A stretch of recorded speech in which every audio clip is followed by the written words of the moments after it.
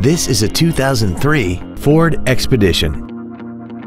This SUV has a four-speed automatic transmission, a 5.4-liter V8, and four-wheel drive.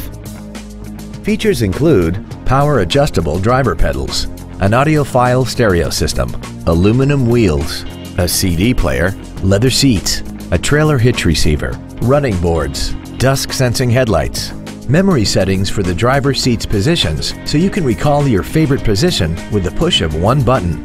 And this vehicle has less than 53,000 miles. Stop by today and test drive this automobile for yourself. Woltz Wind Ford is dedicated to doing everything possible to ensure that the experience you have selecting your next vehicle is as pleasant as possible. We are located at 2100 Washington Pike in Heidelberg.